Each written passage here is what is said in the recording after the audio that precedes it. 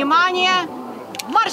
С 12 по 15 мая в Омской области на первом километре автодороги у поселка Крутая Горка прошла 40-я Всероссийская юношеская многодневная шоссейная велогонка.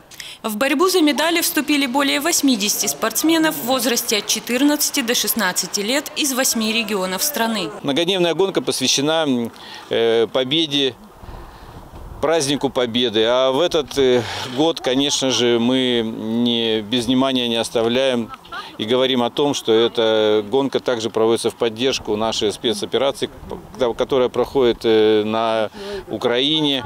Поэтому мы своими действиями, своим, э, своими спортивными достижениями поддерживаем наших военных, которые сейчас э, борются, очищают эту землю от э, нацизма. Спортсмены состязались в трех видах программы. Индивидуальной гонки на 15 километров с раздельным стартом, двух групповых заездах на 64 километра и командном старте на 25 километров. Эти соревнования одни из самых значимых в нашем календаре. Мы к ним готовились.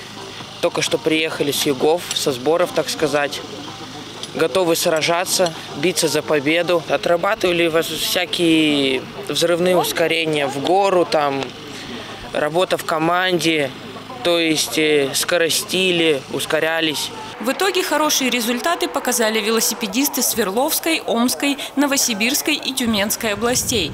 У нашей команды две медали.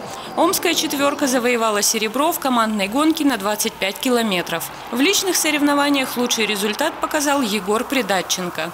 Спортсмен выиграл первый из двух этапов в групповой гонке на 64 километра. Это очень важная многодневная гонка. Она проходит на нашей омской земле.